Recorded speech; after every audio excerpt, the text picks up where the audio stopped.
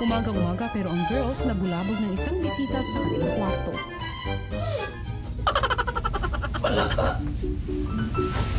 Mami Kat, nandun siya, Mami Kat. Ang palaka. Makinig lang yan ang palaka. Mo, mo. Nasa may shoes mo. Tawagin natin ang mga boys ko kung sinong makakuha ng palaka niya. Hindi ko kaya makakuha ng palaka. Oh my God, Jason. Oh, Kaya mo kumuha ng palaka? bakit? Ay, palaka sa kwarto namin.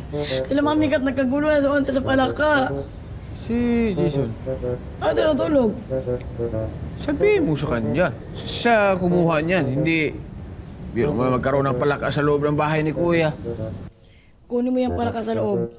Anong pala ka baga? Natutulog ako dito eh. Kaya nilagay mo ang palaka siguro na isang araw pa mabuti hindi siya kuhan sa amin.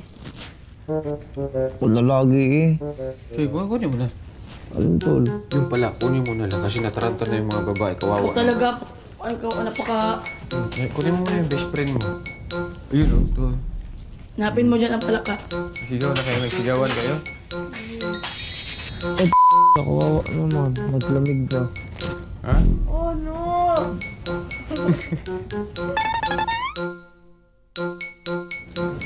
Oh.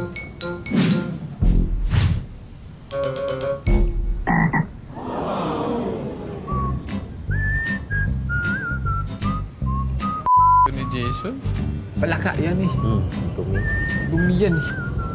Umihiyan dyan, kulugo. Ano ang nakita ng mga girls sa kwarto nila? Wala ka po. At bakit nagkapalaka ron? Hindi ko po alam. Jason, sigurado ka. Nilagay ko lang po doon sa kwarto nila po. At nasa na ngayon yung palaka? Sa labas po. Saang labas? Garden po. Saan sa garden? May labas po. Jason, Nagtalo po sa swimming pool eh. sisisihin mo pa yung palaka. Pumunta siya sa swimming pool o nilagay siya doon? Nilagay ko po doon sa ano eh. Gutter, tas biglang tumalon.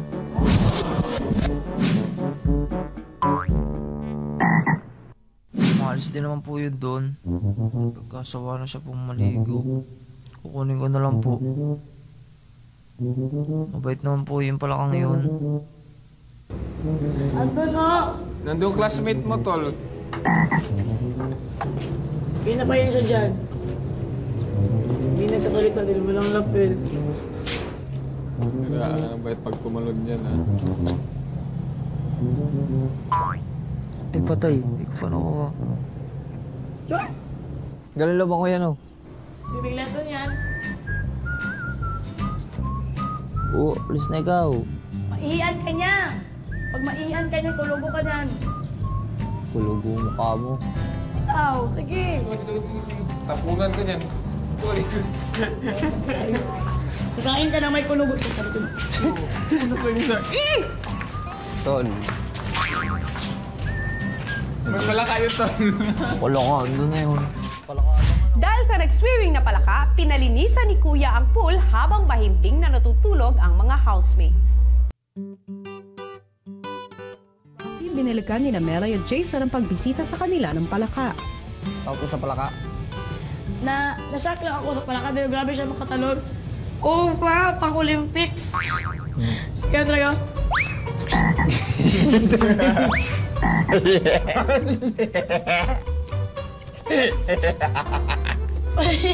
Hindi, kunyari daw, kunyari daw, naoperahan ka na. makalipas sa isang taon. Naging aso na. Naging aso na hindi na palaka. Kabilo, ay, kabilugan ng buwan.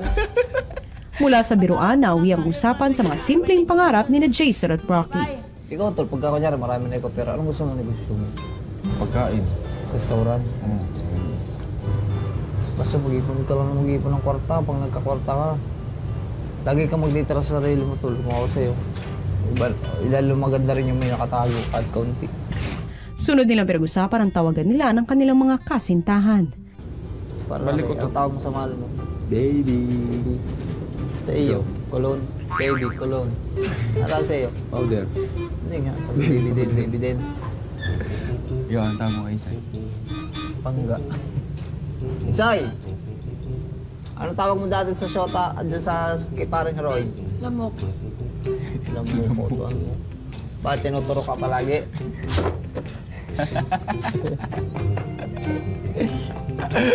Bastos! Bastos. Ikaw nga dyan ang bastos eh. Ano, honey, ganyan. Lang. Lang. Lang sa mo. Sabi sa'yo lang to. Pero sa likod ng kasiyahan, may matinding dinaramdam pala si Rocky. Dahilan para kausapin niya si Kuya. Pakiramdam ko po, tama na po yung experience ko rito siguro. Siguro by next week po, kuya, gusto ko na po lumabas. Gusto ko lang linawin. Gusto mo nang lumabas ng aking bahay? Opo. Gusto mo nang mag-voluntary exit? Opo. Kasi po, ah, pakiramdam ko po na mas siguro mas sila yung karapat dapat na nandito kaysa tumagal pa ako kuya. Tsaka hindi po ako nalulungkot. so baka po pag tumagal pa po ako rito tapos hindi po puro physical activities yung mga task sa darating na araw. So baka maapektuhan lang po yung grupo Lingit sa kaalaman ni Rocky na ang kanyang kasintahan na si Yula ay pinanood ang naging pag-uusap nila ni Kuya. Namimiss ko po yung girlfriend ko at saka yung pamilya, yung kapatid ko kuya. Parang simula nung nagstay po ako dito ng three weeks. parang pakiramdam ko po ang dami ko pong na-miss na na mga bagay o yung mga araw na hindi ko sila kasama. Parang ang laking bagay na po para sa akin. Parang ang laking kawalan po. Minsan po kung ano talaga yung minsan yung naisip ko kung ano talaga yung purpose ko na bakit ako nandito.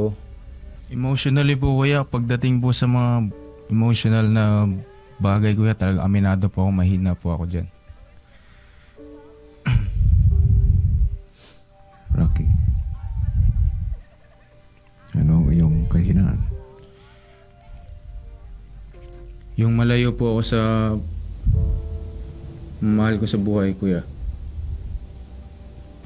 Totoo po yun. Hindi ko talaga kaya. Sa totoo po, nung simula pong nakilala ko siya, nung huli ko pong trip abroad sa Africa, hindi ko talaga na-enjoy yung scenery, hindi ko na-enjoy yung bansa na mga dati ko namang nagagawa noon hindi ko na-enjoy. Parang pakiramdam ko, hindi ko ma-enjoy yung isang bagay kung hindi ko siya kasama. Siya po ang buhay ko, kuya. Siya po ang buong buhay sa akin. Siya po yung dahilan kung bakit nandirito ako. Siya po yung dahilan ngayon ng lahat. Kung bakit ako nandito, kung bakit ko ginagawa lahat ng sakripisyo. kahit ano man yung mga binato sa akin ng tao, kung ano man, sino man nang nanira sa akin para nang paghiwalayin kami. Lumaban pa rin ako kuya. Tapos isa pa yun sa mga dahilan kung bakit ako pumasok dito.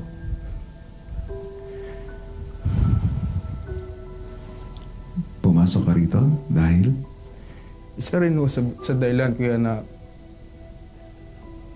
hindi ako isang palamunin lang kuya. Na kaya ko rin tumayo sa sarili kong paa. Kaya ko rin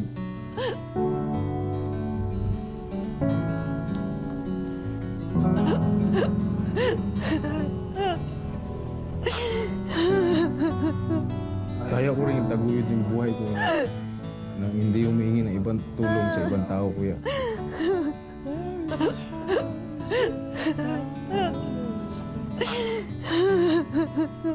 Kuya, sa buhay naman ng tao talaga, kuya, pag merong isang mas angat sa isa, ginagawa naman talaga ng istorya yun. Kinukumpara nila lahat ng material na bagay. Pero yung mga nararamdaman ng tao, yung gano'n ka-dedicated yung isang tao sa pagmamahal niya, hindi nila kayang makita yun. lahat ng negative sasabihin nila para lang sabihin na para ma-feel good sila na siniraan nila yung isang tao na hindi naman nila kilala. Kaya, kaya nalulungkot po ako kung hindi kung magiging wala po ako sa sa birthday niya sa Pasko na pinagplanuhan namin kung ano yung gagawin namin. Sabay pa po kami nag, nagkabit ng Christmas tree sa bahay nila. Nag-promise pa po ako na hindi ako muna aalis na mag-spend ako ng Christmas sa birthday and New Year sa piling niya. So, ang, ang, ang bigat po para sa akin eh. Na nandito ako tapos burden ko yung mga promises na hindi ko matutupad.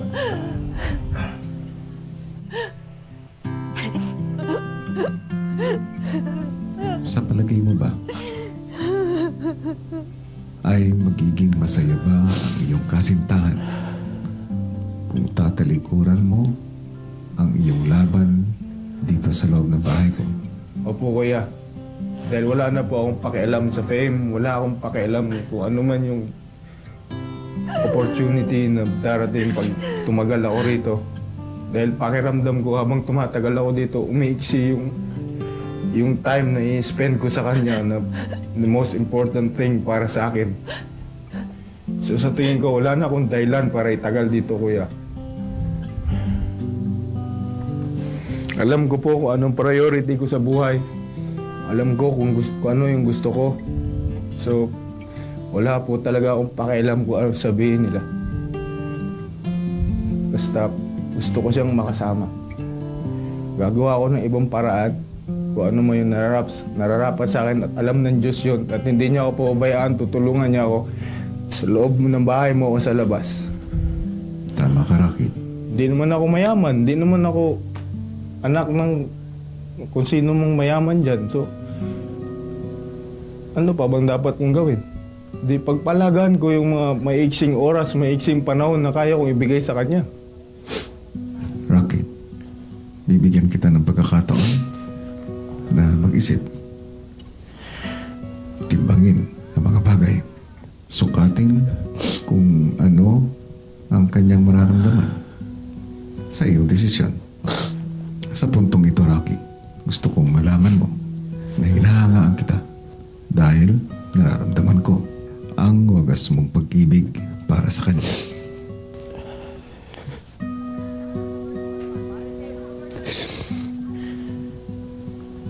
Paglabas mo rito, ay tutuloy ka ng storage room.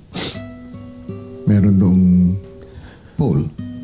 Sabi ko sa iyo ay bibigyan kita ng pagkakataon na mag-isip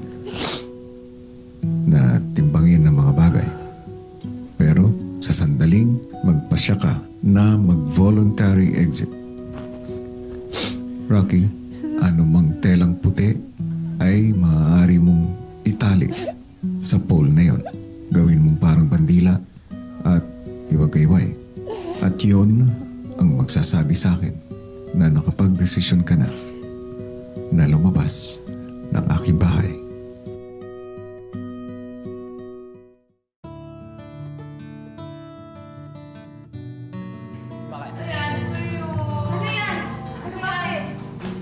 Lalagyan ng white flag pag ready na ako. Ba't ka umiyak? Wala, eh, pinaiyak ako ni Kuya. Bakit? May gagawin ka? Shucks. Yun? Sabi si Rocky. Wala naman dyan. Eh, wala siyang sinabi. Guys, Pero alam sorry talaga, na- pero ayaw Alam- ko namang maapektuhan yung mga mga task nyo rito Alam kasi ko na inisip dahil nalulungkot ako. Ano. So, kinausap ko si Totoo Kuya. yung sinabi mo? Kasi Uy! lahat yun, nakikita ko naman nag-enjoy. So, ayaw ko naman din sirain na pag, di ba, emotionally affected ako pag layo ko sa girlfriend ko. So, Oh no, Rocky. so kung, kung, kung sakaling ready ako kung ano yung decision ko, I'll just put white flag. Then, voluntary exit. Sorry guys. Akala ko hindi totoo yung sinasabi sa akin. Serious. Ah, siguro hubsik na hub- hubsik na hubsik po sa kanyang ah, girlfriend po. Kaya unawa ko naman po. Dahil pag minsan gano'n din po ako pero ah, hindi ko naman inisip, hindi ko naman inisip na mag-voluntary pero uh, unawa ko yung naramdaman po niya. It's really up to him.